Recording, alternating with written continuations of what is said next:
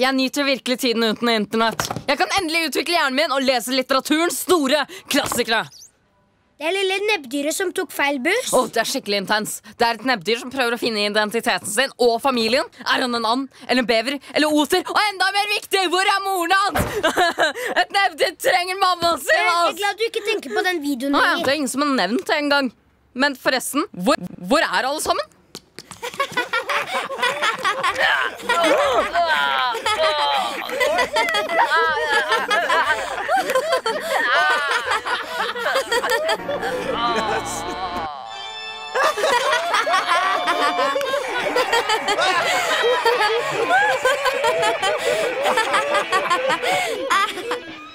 Hva er det? Du har blitt et nettfenomen, kompis! Du er kjendis! Hva slags kjendis er det? Dette er tåpelig! Hva blir det neste? Det teite ansiktet mitt med sombrero som skyter laser på søte kattunger. Det holder. Jeg ringer nettpolitiet.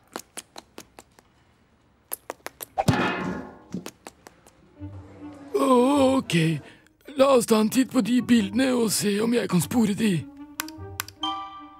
Oh, finn en ny bil. Kom igjen, da. Alle vet at man ikke burde klikke på pop-up. Hold dere i bakgrunnen! Det er et hackerangrep! Hei, bare klikk på pop-up-blokkeknappen. Hva i Det er utrolig! Jeg må sende en e-post til de andre. Hva er det du gjør for noe? Det er ikke sånn man sender e-post. La de profesjonelle gjøre jobben sin, du. Jeg har drevet med dette siden 80-tallet. Hva? I fremtiden? Nei, på 1980-tallet. Finnes det et 19? Du kan ikke slette de videoene fra internett, eller hva? Nei. Men jeg kan slette internettet. Se og lær, unger. Jeg er ikke sikker på at jeg holder. Du har rett. Hva med sånn? Ja, bra. Tusen takk for hjelpen, da. Ok, en, to, tre. Darwin, det er ikke noe poeng. Internett har ikke følelser. Det er som et flippskjegg lagd av ondskap. Kan det fins et bankende hjerte hos alle ting. Virkelig. Hva med zombier? Ok, alle ting bortsett fra folk som ikke har hjerte. Hva med maneter? Ok, jeg skjønner hva du mener. Teknisk sett har de ikke dinohjertene heller. Men alle andre har det. Hva med advokater? Åh, Bare ta opp, er du snill.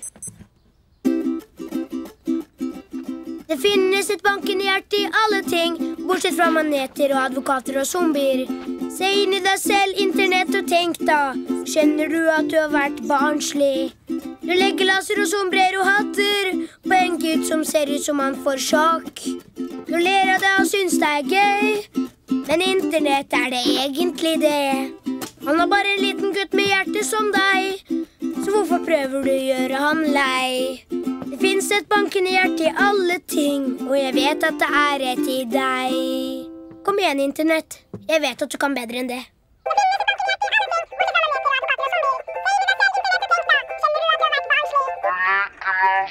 Hva er galt med Internett, da? Denne videoen varer i 20 minutter. Det holder! Jeg har fått nok internett! Jeg skal ta deg! Jeg starter cyberkrig mot deg! Din lille amøbe!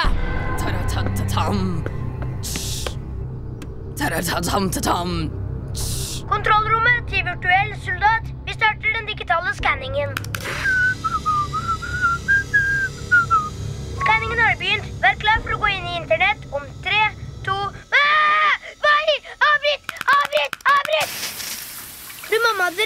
Vi hadde ikke bruk for en høyopplyselig skanner. Ok, bare glem det.